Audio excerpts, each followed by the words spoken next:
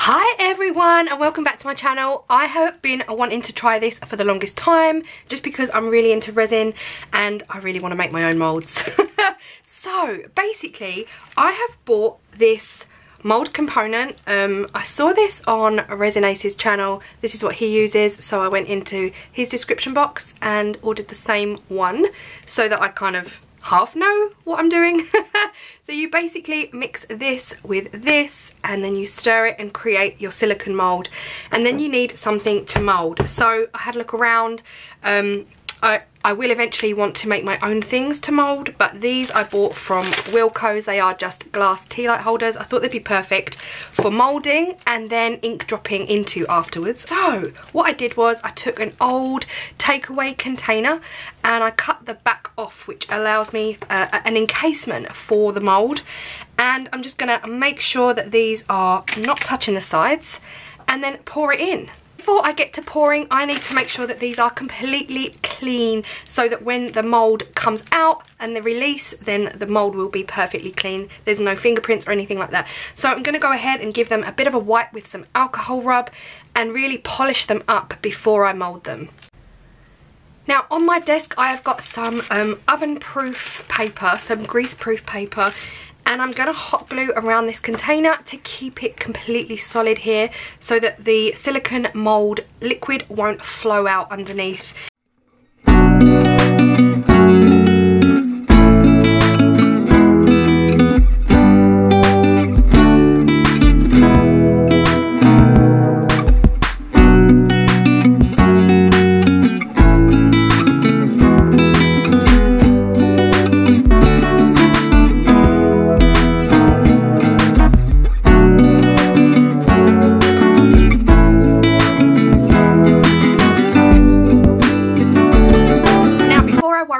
Parts being away from the edge, I'm just to move this out of the way for a second and I'm to mix up my mixture. So the mixture says for every 100 grams of the big box, you want 3 grams of that small little liquid. Now I will get the technical terms for this. um, one is called silicon rubber the yeah so the big one is the rubber and the small one is the catalyst. And they need to be mixed thoroughly in order for it to work. Now you can measure your vessel with rice to get the exact measurements. Of course I didn't do that. Um, so I'm just going to measure 200 grams of the silicon and then 6 grams of the catalyst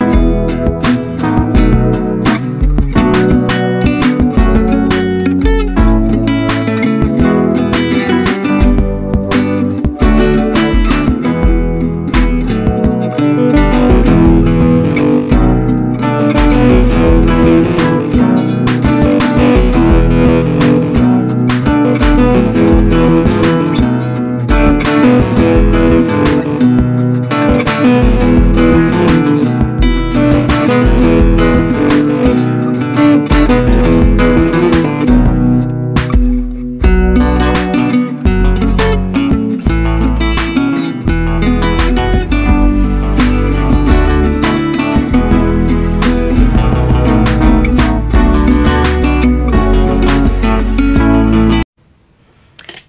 so I added another 150 grams to this and so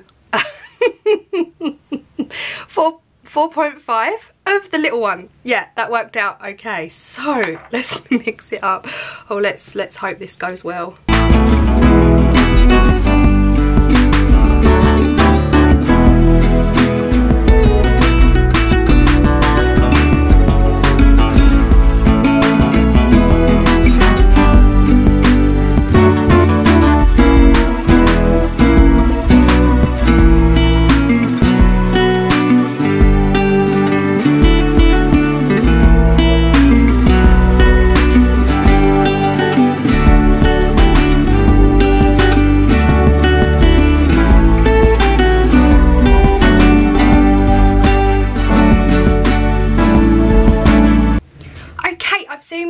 Right in. You should be able to see this all in action. The instructions say pour from a height, a good height, so that it basically kills the air bubbles as the silicone mould liquid hits. Um, it does get air bubbles as you mix it. So to get rid of those, you need to pour from a really good height. So I will be pouring from a good feet away, feet, feet, foot, one foot away. I'm gonna come right up above the camera and pour from a really great height just to get rid of any potential bubbles. And yeah, let's do this.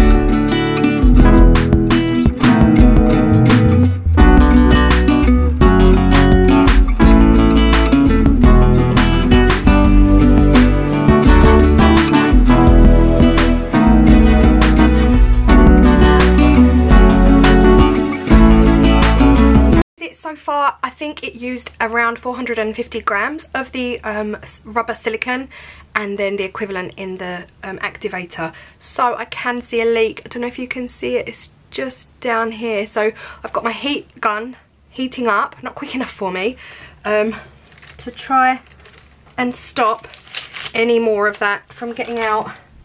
So I'm just going to go in with some hot glue and try and seal that off and hope that no more drips away.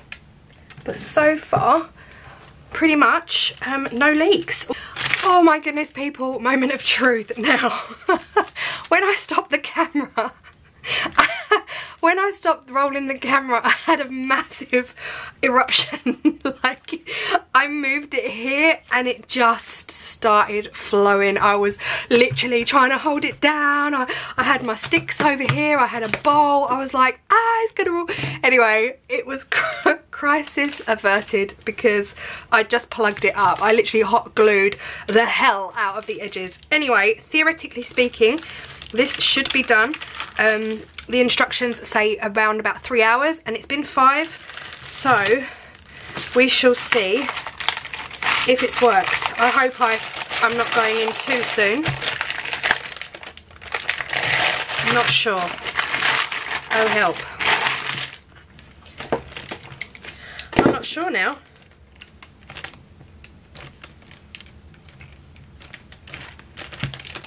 Oh yeah, no, that's fine. Just gonna cut away the sides. Sorry, panicking a bit in case it's actually not set at all. That's not gonna do it. Little bit of ASMR for you.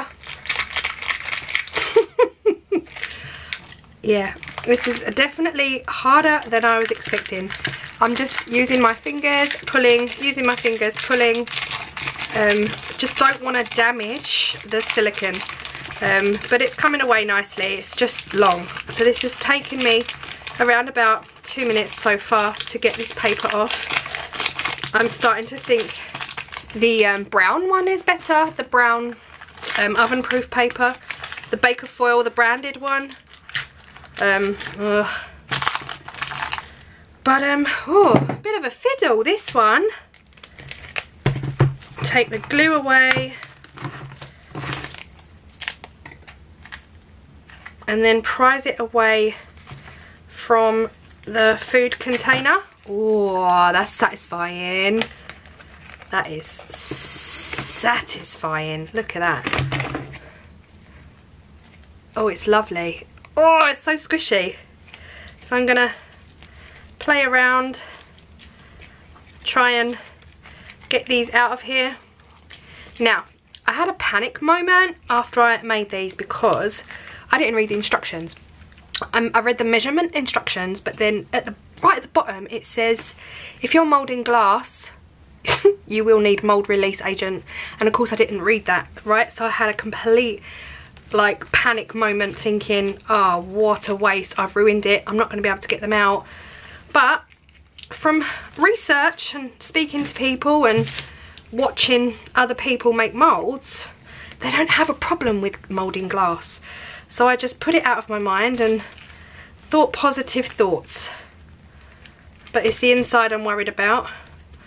Getting that inside out. O-M-G.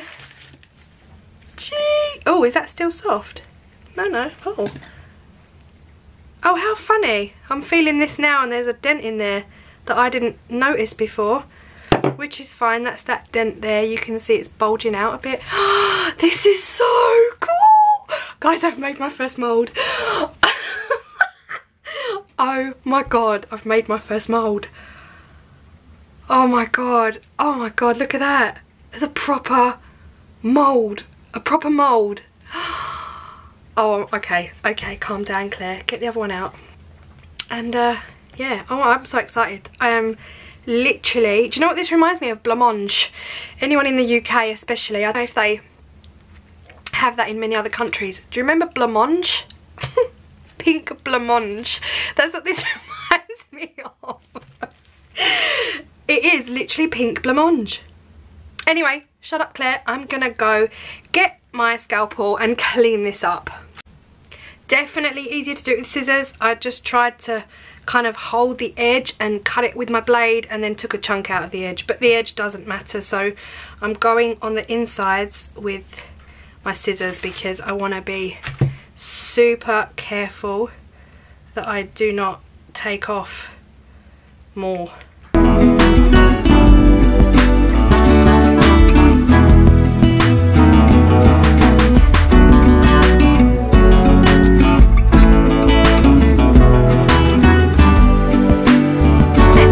Whole thing neatened up with the flappy kind of wispy edges taken away. They do look a bit dodgy around that edge, but really that edge doesn't matter um, too much, I think. We shall find out if it makes it look terrible. But that is technically going to be the bottom of the tea light holder anyway. The bottom had a bit of a lip because it came from a food container, so I just um, chopped away that corner. I mean, guys, look at this. Does this not look like blancmange? Everything comes back to food with me, honestly. Right, is it ready for resin? I'm guessing it is. So I'm gonna go heat my resin up and uh, let's get to pouring.